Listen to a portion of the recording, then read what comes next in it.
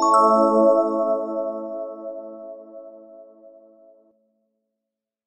¿cómo están? Bienvenidos a este, mi canal de YouTube.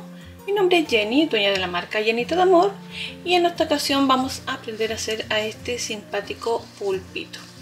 Mide más o menos unos 5 centímetros y medio aproximadamente, tejido con algodón de 4 hebras y es así de tiernito. Un amigurumi sencillo de realizar, para aquellos que estén empezando a hacer amigurumis les va a servir bastante. Entonces si les gusta este simpático pulpito, nos vamos por los materiales. Los materiales que vamos a ocupar para hacer a nuestro pulpito, yo lo voy a hacer en este color como un verde agua, para diferenciarlo del rosadito. Pueden hacerle las patitas de colores o hacerla de un solo color. Más o menos vamos a ocupar unos 30 gramos. Yo voy a ocupar algodón de 4 hebras. También vamos a ocupar unas hebritas de rosado para las mejillas y una hebrita blanca para ponerle debajo de los ojitos. También nuestro relleno. Yo voy a ocupar crochet 2,5 para este algodón de 4 hebras que voy a tejer. Tijeras voy a usar estos ojitos de 8 milímetros aproximadamente con sus respectivos broches y por supuesto nuestro marcador para que puedan saber dónde empieza y termina ya que vamos a tejer en espiral entonces teniendo listos nuestros materiales vamos a comenzar entonces vamos a empezar con el cuerpito de nuestro pulpito para eso vamos a hacer un anillo mágico de 6 puntitos. ¿Cómo hacemos el anillo? Tomamos nuestra hebrita hacia adelante, la giramos en el dedito como una especie de X, pasamos por debajito, tomamos esta hebrita y la sacamos hacia afuera, giramos y tomamos esta hebrita de acá. Y ahí tenemos nuestro anillo mágico. Vamos a hacer 6 puntitos dentro de él. Entramos así, sacamos y hacemos 1, 2, 3, 4, 5 y 6 puntitos. Ahí tenemos nuestros 6 puntitos. Vamos a tomar de arriba y tiramos esta hebrita para cerrar. ¿Por qué siempre tomamos de acá? Para evitar que esto se nos enroque. Y nos va a quedar así como una media lunita. Entonces ahora vamos a empezar a trabajar en nuestro anillo. Esta va a ser la vuelta número 1 y ahora vamos por la 2. En la vuelta 2 vamos a aumentar en todos los puntos. Estas dos espiguitas son el punto, entonces las tomamos juntas, así. Pasamos nuestra hebrita entre medio y hacemos un puntito. Lo vamos a marcar. Y en este mismo hacemos otro. Este punto que estamos utilizando para hacer los amigurumi se llama punto bajo o medio punto entonces vamos a hacer estos medio punto en cada uno de los puntos vamos a hacer dos 2, 2, 2 y al finalizar esta vuelta vamos a tener 12 puntitos. Ahora nos vamos por la vuelta número 3 donde vamos a tejer un puntito y un aumento. Entonces comenzamos. Tejemos uno lo marcamos y en el siguiente hacemos el aumento hacemos dos puntitos. Entonces hacemos un punto y un aumento y esto lo repetimos en toda la vuelta, un punto, un aumento hasta terminar y nos van a quedar 18 puntitos. Ahora nos viene la vuelta número 4 donde vamos a aumentar cada dos puntitos. Tejemos el primero, lo marcamos, tejemos dos y en este que sigue hacemos el aumento, hacemos dos puntitos acá. Entonces esto lo repetimos, tejemos 1, 2 y en este que sigue hacemos dos puntitos esto lo hacemos en toda la vuelta y nos van a quedar un total de 24 puntos. Ahora nos toca la vuelta 5 donde vamos a tejer tres puntitos un aumento. Entonces tejemos el primero lo marcamos tejemos 2 3 y en este que sigue hacemos el aumento hacemos dos puntitos acá. Entonces lo hacemos en toda la vuelta tres puntitos un aumento y al finalizar esta vuelta vamos a tener 30 puntos. Ahora nos vamos por la vuelta número 6 donde vamos a tejer 4 puntitos un aumento. Tejemos el primero lo marcamos. Tejimos 2 3 4 y en este que sigue hacemos el aumento. Hacemos dos puntitos acá. Esto lo repetimos en toda la vuelta. Vamos a tener 36 puntitos. Ahora viene la vuelta número 7, que es nuestra última vuelta de aumentos, donde vamos a aumentar cada 5 puntitos. Entonces tejemos el primero, lo marcamos, tejemos 2, 3, 4, 5 y en este que sigue hacemos el aumento, hacemos dos puntitos acá. Entonces tejemos 5 puntitos un aumento, esto lo hacemos en toda la vuelta, vamos a tener 42 puntitos al terminar la vuelta. Entonces ya hemos terminado con todos los aumentos. Es eh, normal que les queden así estas puntitas de los aumentos, ¿ya? Así que no se preocupen si no queda totalmente redondo, ya que estamos tejiendo con los aumentos simples. Y ahora vamos a tejer desde la vuelta 8 que sigue hasta la vuelta 15. Entonces tejemos el primer puntito, lo vamos a marcar para no olvidar en qué vuelta estamos, estamos en la 8 y ahora vamos a ir tejiendo los puntos como se presentan sin aumentar ni disminuir, vamos tejiendo punto por punto hasta la vuelta número 15 en total vamos a tejer 8 vueltas de 42 puntitos. Y va a ser el largo del cuerpito de nuestro pulpito. Entonces ya tejimos desde la vuelta 8 a la 15 y así nos va a quedar el cuerpito Ahora vamos a empezar con la vuelta 16 donde vamos a hacer disminuciones. Entonces vamos a tejer 5 puntos en una disminución. Tejemos el primero, lo marcamos, tejemos 2, 3, 4, 5 y ahora vamos a hacer la disminución y vamos a hacer la disminución invisible. Como lo hacemos, tomamos esta hebrita de adelante del punto ahí. Luego la siguiente. Pasamos nuestra hebra entre medio y cerramos. Y eso sería una disminución. Entonces tejemos 5 puntitos una disminución y en esta vuelta nos van a quedar 36 puntitos. Entonces ahora vamos para la vuelta número 17 donde vamos a disminuir cada 4 puntitos. Tejemos el primero lo marcamos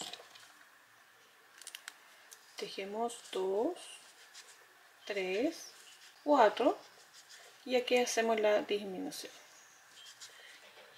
Lo repetimos y vamos a quedar con 30 puntitos. Y ahora nos vamos en la última vuelta de disminuciones donde vamos a disminuir cada 3 puntitos. Tejemos el primero lo marcamos tejemos 2 3 y en este que sigue hacemos la disminución esto lo repetimos en toda la vuelta y nos vamos a quedar con 24 puntitos. Entonces así nos quedó la base del cuerpito.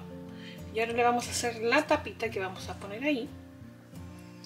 Y para eso vamos a hacer un anillo mágico de 6. En la vuelta 2 vamos a aumentar en todos los puntos, vamos a tener 12. En la vuelta 3 tejemos un punto, un aumento, lo repetimos en toda la vuelta y vamos a tener 18. Luego en la vuelta 4 tejemos dos puntitos un aumento, lo repetimos vamos a tener 24 y en la vuelta 5 tejemos los 24 puntitos. Y vamos a cerrar con un punto deslizado, como lo hacemos entramos por aquí, sacamos hacia afuera, tomamos acá y vamos a cortar una hebrita y ahí estaría lista la tapita para poner aquí después en nuestro pulpito. Ahora le vamos a hacer las patitas a nuestro pulpito. Y como ya les enseñé anillo mágico, aumentos y tejer sobre los puntos y disminuciones, solamente les voy a explicar cómo va esta parte. Vamos a hacer un anillo mágico de 6. En la vuelta 2 vamos a aumentar en todos los puntos, vamos a tener 12. Y vamos a tejer desde la vuelta 3 a la 7 los 12 puntitos. Y se va a hacer el largo de la patita.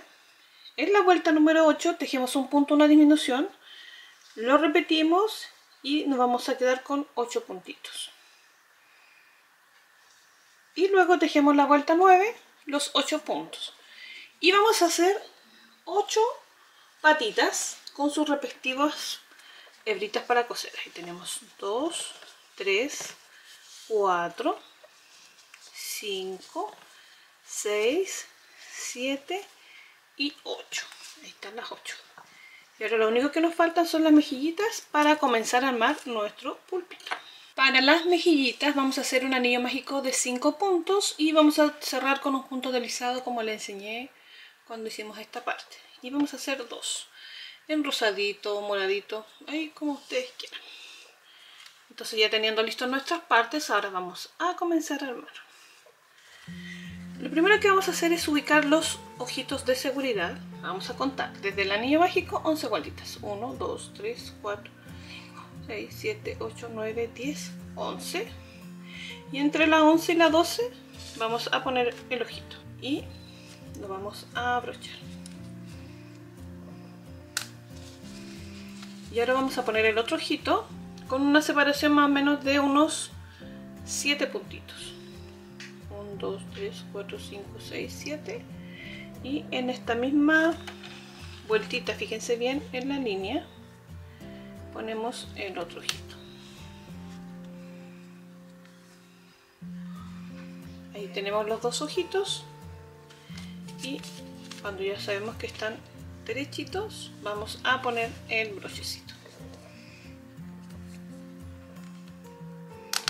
Y ahora ya como está, listito lo vamos a rellenar. Vamos a rellenar la cabecita y vamos a rellenar las patitas. Lo importante es que el algodón es parte fundamental de nuestra pieza de amigurumi, así que no escatimen en echar algodoncito. Van echando algodón. Van rellenando, van rellenando. Que les quede redondito. No es necesario que quede duro, duro, duro, pero sí que tenga la forma de lo que estamos tratando de lograr, que es redondito nuestro pulpito. ¿ya? Y antes de poner la tapita, bueno, vamos a rellenar ahora las patitas también y luego vamos a bordar los ojitos para poder proceder a poner la tapita. Se dan cuenta que rellenarlo crece un poco esta parte de la tapita, por eso esta ahora sí les va a calzar bien. Cuando está sin relleno como que se ve más juntito, pero al echarle relleno se abre un poquito. Entonces vamos ahora también a echarle relleno a las patitas. Y lo importante es que esta parte tenga relleno, más que esta parte flaquita. Como ustedes le he comentado, si es primera vez que ves uno de mis videos, yo tengo este palito que es palito de esos de sushi o de comida china, que son súper económicos. Y a mí me ha servido bastante para poder rellenar estas partes pequeñas por ejemplo ahí estoy por la parte de atrás del palito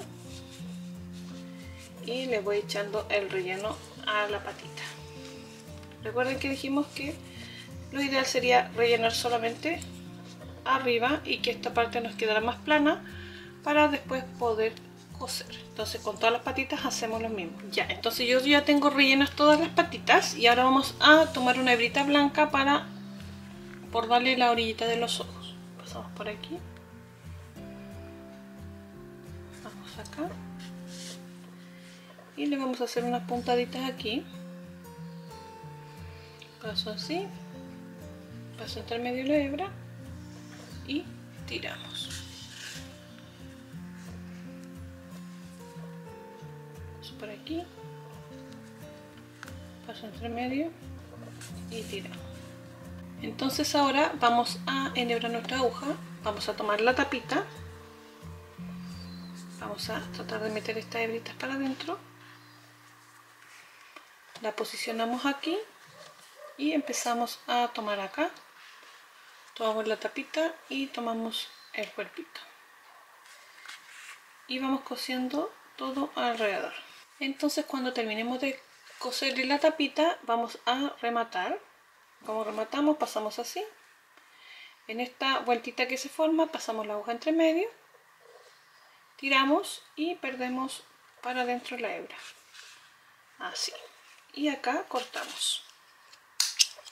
Entonces nos va a quedar así el cuerpito en esta parte más chatita ya ahora vamos a tomar los tentáculos de nuestro pulpito los bracitos de nuestro pulpito y primero lo que vamos a hacer es cerrarlos acá arribita lo cerramos toda esa orillita.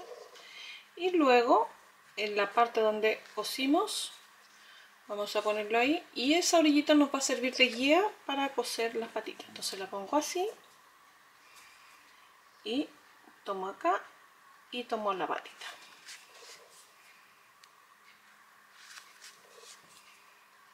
Tomo así.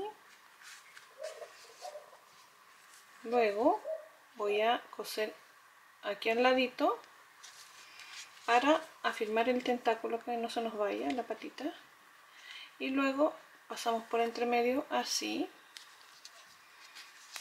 pasamos acá también así y por la orillita. Entonces así vamos a evitar que se nos eh, pare el bracito y va a quedar así ven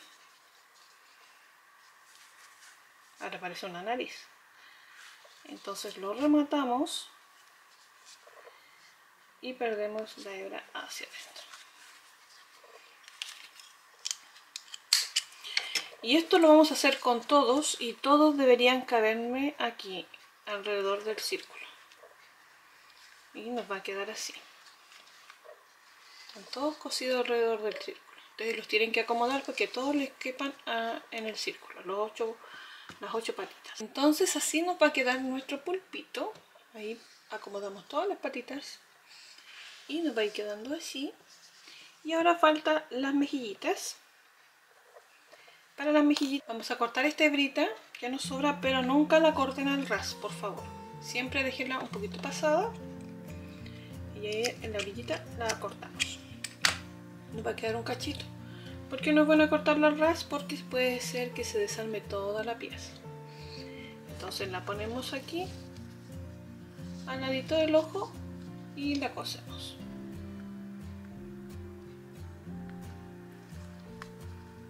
Todo el borde. Ahora si ustedes, este, si ustedes quieren a este pulpito le pueden hacer una boquita para que se vea más contento. Yo lo voy a dejar así nomás.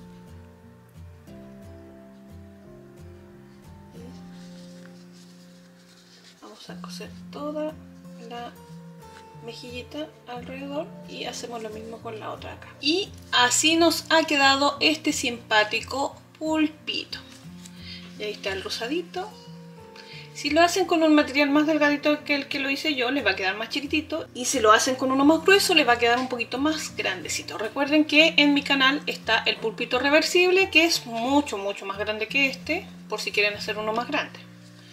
Y ahí también le pueden hacer este tipo de tapitas al otro. Espero que les haya gustado mucho el proyecto que lo puedan realizar. Eh, cuídense mucho que estén muy bien y nos vemos en un próximo tutorial. Chao chao